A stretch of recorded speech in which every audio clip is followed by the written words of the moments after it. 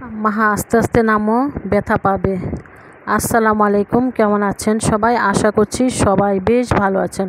আমরা আলহামদুলিল্লাহ বেশ ভালো আছি। আজকে আমি আপনাদের জন্য একটি ব্লগ ভিডিও নিয়ে চলে আসলাম। এই তো মাহাকে স্কুলে দিতে এসেছি। মাহা রিক্সা থেকে নেমে নিজে নিজেই ক্লাসে যাচ্ছে। যাই হোক মাহাকে স্কুলে দিয়ে আমি আমার কিছু প্রয়োজনীয় জিনিস ছিল সেগুলো কেনাকাটা করে বাসায় চলে যাব। এখানে নিয়ে সিয়াসিডের দোকানে চলে আসছি, কিনেছি সিয়াসিড আর এখানে বিভিন্ন প্রকারের বাদাম, তৈল, নাম না জানা অনেক জিনিসপত্র দেখেছি। যাই হোক তারপর কিনে নিয়েছি শ্যাম্পু কিছু মিনিপ্যাক শ্যাম্পু কিনেছি কিনে তারপর ইনশাল্লাহ বাসায় চলে আসলাম। বাসায় এসে শ্যাম্পুগুলো গুছিয়ে রাখছি। গুছিয়ে রেখে তারপর কিছু টুকিটাকি কাজ সেরে আবার মাহাকে আনতে যাব ইনশাল্লাহ।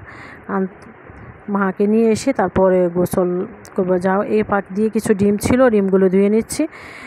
ধুয়ে নিচ্ছি, ধুয়ে তারপরে রেখে দিব। যাই হোক মাহাকে যখনই আনতে যাচ্ছি, আনতে যাওয়ার সময় ভাবছি কিছু বাজারে কিছু তরচাজা সবজি দেখেছি, তাই একটু দাঁড়িয়ে দাঁড়িয়ে দেখছি কি সবজিগুলো নেওয়া যায়। নিয়ে মাকে নিয়ে বাসায় চলে আসব ইনশাল্লাহ।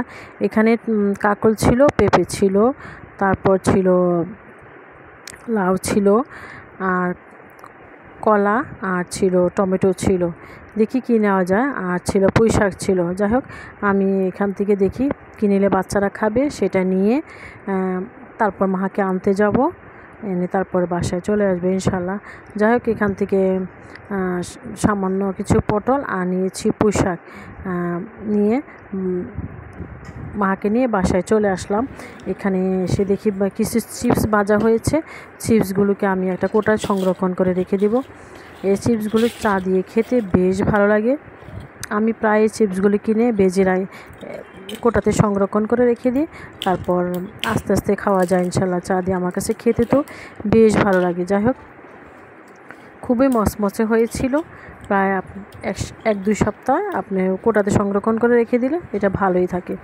যাই হোক, এখানে কিছু সেমাই ছিল, সেমাইগুলো নষ্ট হয়ে যাচ্ছে, তাই ভাবছি একটু এগুলিকে বেজে একটা কোটাতে সংরক্ষণ করে রেখে দিব। তারপরে যখনই রান্না করা হবে, খাওয়া যাবে ইনশাল্লাহ যাই হোক সেমাই কিছু বাজা হচ্ছে।